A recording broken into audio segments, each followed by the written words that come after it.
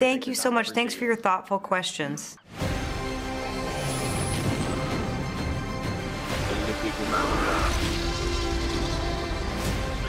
Where we're going, we don't need roads.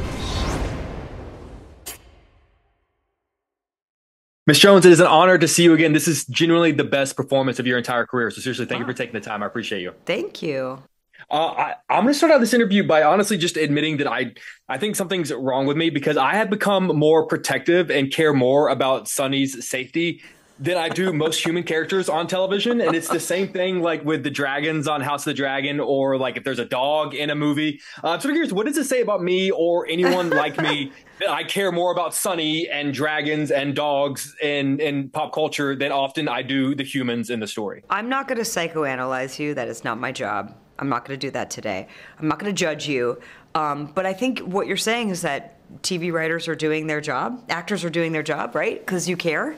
Um, so that that's a good thing. Um, I think also that's you know, it's weird. We do kind of as humans, we we can very quickly adopt this feeling and care and empathy for something if it's if we're given enough information to believe that we should care about it. And I definitely relate to that. I felt like there were times when I would look at Sunny and she would you know, power down and I'd be like, Sunny, no, you know, which is crazy because it's not real but that's that's sort of our gift and our curse as people is that we very quickly can accept our circumstances and have empathy for things that might not even be truly real.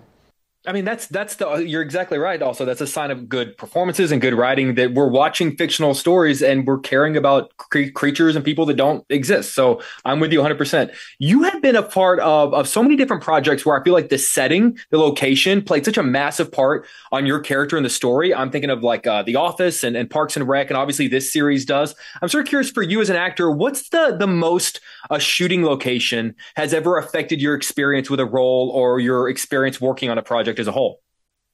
Well, I'm not. I'm not just saying this because we're talking about sunny, but I think it, it, has to be sunny. You know, I lived in Japan for six months, and so I definitely experienced the the the the reality of being a foreigner in a foreign land. And I love Japan, absolutely love it. But it does feel like, as an outsider, it's very hard to penetrate the culture and really understand the culture. Um, and everybody was so nice and so welcoming. But at the end of the day, there is a, there's a slight kind of isolation that you feel, just not being home. Um, so that was very real for me, for mm-hmm. sure. Mm-hmm. That makes sense.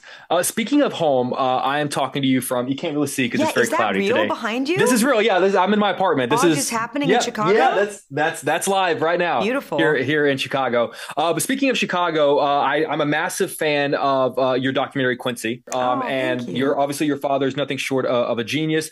Born here in Chicago, he experienced Chicago uh, very differently than many people who live here in the city right now. I'm just sort of curious. I would love to know what you remember about him telling you about his time in our city, and, and maybe your own experience in Chicago. Yeah, I, I love Chicago. I've been there a few times. Um, you know, my dad grew up in the south side of Chicago in the 30s, which is almost 100 years ago at this point. Um, he had a very different experience than I'm sure people do do now. Um, but he has a lot of Chicago pride. Um, and I don't know, there is something that, I mean, it's such a great city. There's so much going on in Chicago culturally. Um, that I have to believe that was some seed of who he was started to grow there, even though he moved to Seattle when he was about nine. Oh, mm-hmm. yeah, eight or nine. Um, he that's you know that's where he was born and bred, and I know you know he talks a lot about like his father's style and how he wanted to be like his dad. I feel like Chicago is very well known, especially during that time for the style, the fashion was really popping off, but also you know there was a lot of hardship for him there yeah. Well, he he obviously made uh, a, a, lot of it, and I love sort of the the tie that obviously Oprah isn't from here, but the you know her she has such a, a huge part of, of our city and, and them getting to work together. Yeah. Um, I'll, I'll cut you loose on this. Obviously, AI is, is, such a massive topic that is not just being focused on in this show, but everyone is talking about. It. I'm sort of curious. It was a massive uh, conversation point uh, of the strike last year. Uh, at what point in your career have you started to notice? It's seeping into your industry did you start noticing that it was it was having an impact even before it became a conversation point both with this show and the strike last year That's a good question. I don't know. I don't know if we would see it kind of yet in our industry. I mean, I know that they use AI already. Directors use AI to kind of prep for movies and stuff. Um, and I know there's some th- kind of big debates going on about you know voices and using AI to kind of you know recreate voices and actors and destroy jobs in every industry, but I do think there's probably stuff we take for granted. I mean, they already use AI with all these algorithms, with all these streamers, with all of, you know, our searches online. They are mining data and they're using these very sophisticated, quick, quickly training um, AIs on to, to do that, together. And I think we, you know, this is as much a conversation about ownership and IP as it is about privacy, because mm-hmm. the truth is, all, every everybody's gathering data and training their AI for their particular for-profit conglomerates right now. So it's something that everybody should be talking about in every industry because it's a, it is a massive. It's probably the biggest one of the biggest conversations of our time.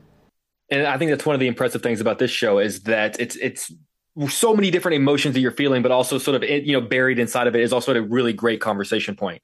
Um, I could talk with you all day. They're pulling me out yeah, of here. I just want to say thank you for for being a part of so many uh, projects that mean a lot to me. Um, and you. this is this is uh, near the top of the list. So seriously, thank you for thank taking the time. So much. I appreciate Thanks you. for your thoughtful questions. Uh, thank you. I appreciate you. Take care. Have a nice day. Bye. Thanks. Bye.